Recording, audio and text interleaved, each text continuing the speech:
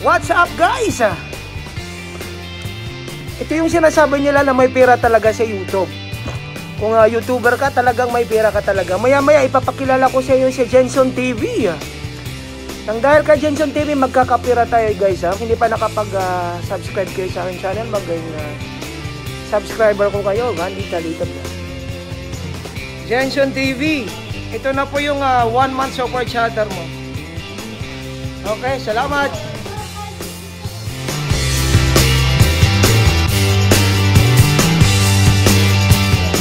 Hi, Simple Joel's Vlog. Please support Simple Joel's Vlog also. Thank you. Congratulations. Ay, congratulations po, Jensen TV. And thank you po pag-support sa ah, bossing natin na si Randy Talita. Thank you. God bless. Ako ako yung ah, binigay na support ni Jenson TV sa akin unahan. Kasi Jada din siya. Binili ko na talaga siya ng US Polo na shoes para mayroon ako, ah, may mapuntahan at makikita ko yung unang ah, pera ko sa YouTube. Maliit siya, maliit na halaga. Kasi ah, yung pin ko naman is hindi ko pa talaga nakukuha.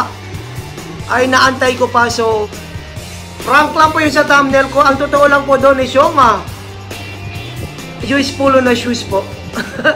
maraming maraming salamat po guys. ha. Thank you po sa pag-support ah, lagi sa aking ah, live stream at sa mga taong sumusuporta rin sa akin. Maraming maraming salamat guys. ha.